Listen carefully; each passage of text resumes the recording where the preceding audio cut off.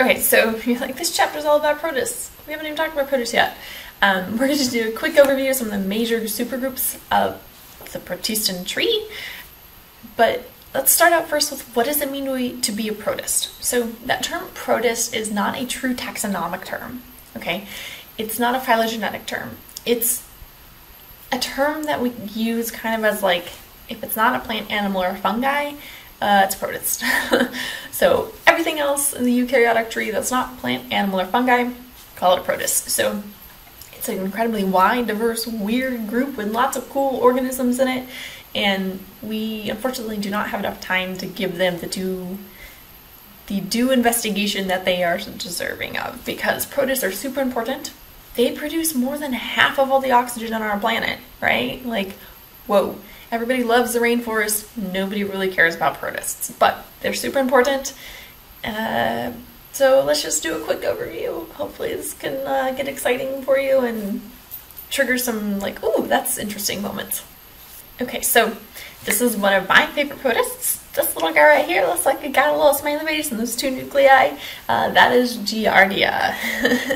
um, so Giardia is part of the supergroup Excavata. Okay, what's unique about the organisms in this group is that two of the clades in this group, the diplomonads and parabasalids, do not have functional mitochondria.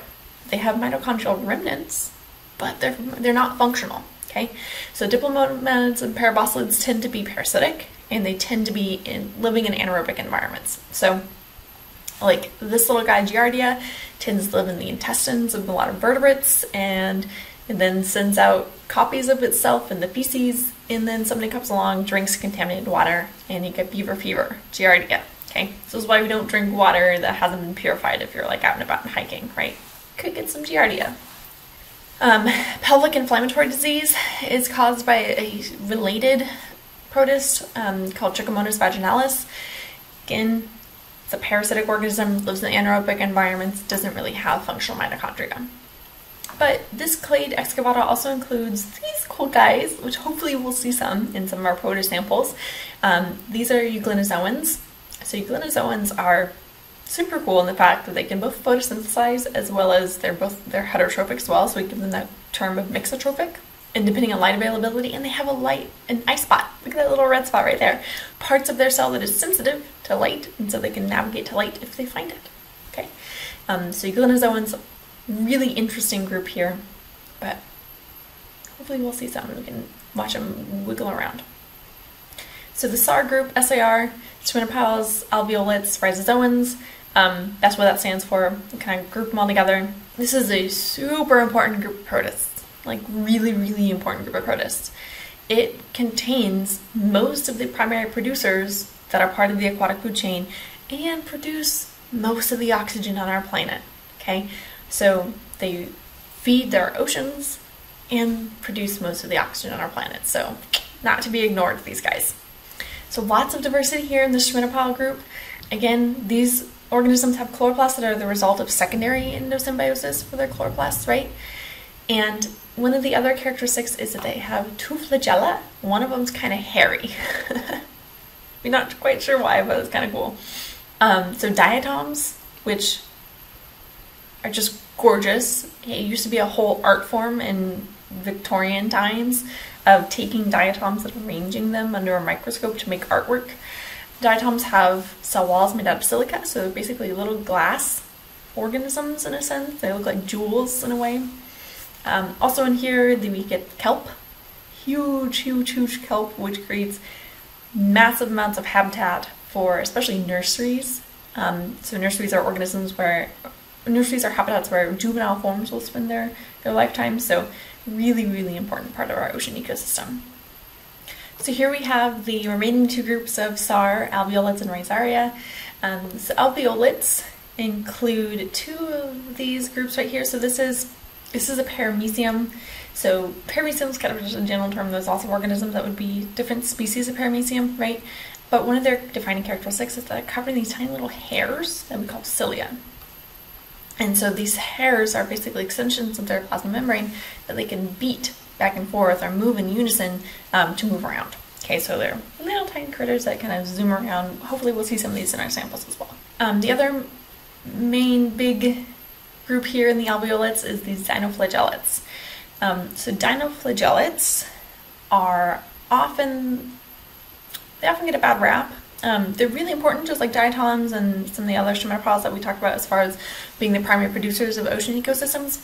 But during a harmful algal bloom or a HAB, um, those harmful algal blooms are often caused by dinoflagellates. So they can often cause also red tides is another name for them, are often caused by dinoflagellates. They can produce toxins that are neurotoxins that can basically cause seizures and amnesia in mammals, so they can be toxic.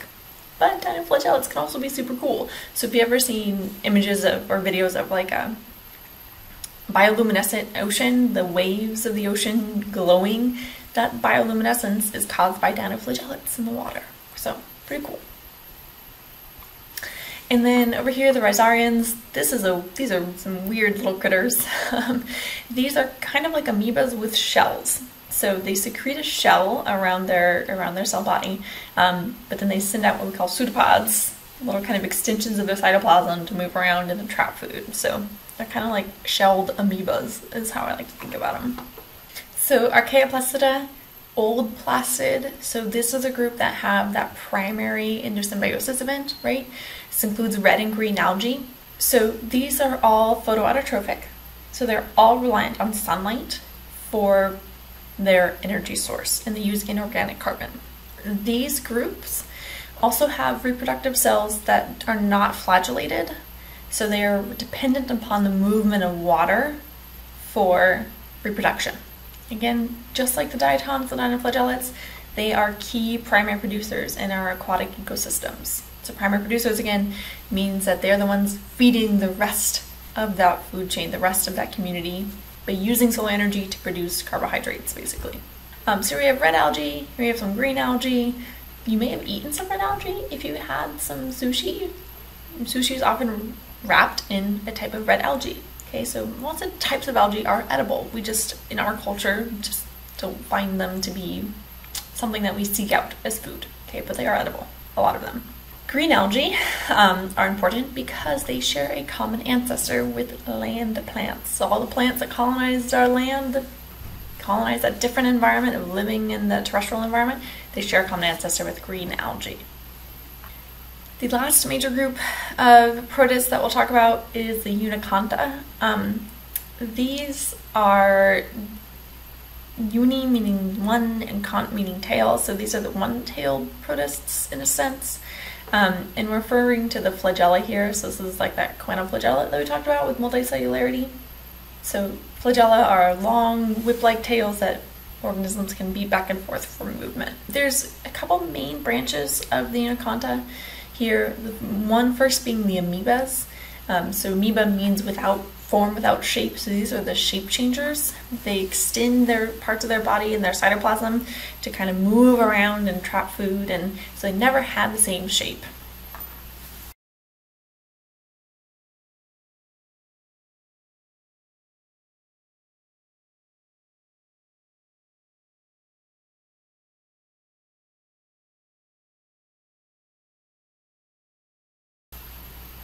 And then over here, slime molds. Slime molds play a really important role. They're not fungi. They're a different group than fungi, um, but they play a really important role in decomposition in ecosystems.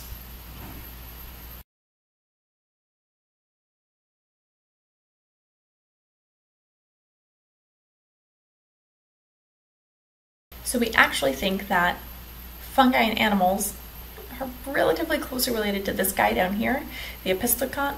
Um, this is very similar to what we saw with the uh, right? And even though this looks more like a fungi, fungi are more closely related to animals, us, than they would be to the slime molds. So we think that we actually share a common ancestor with fungi, very that was very similar to this Opisthokont here, right? To this uh, like organism. So those are three main groups, amoeba, Opisthokont, and these slime molds for the Unikonta.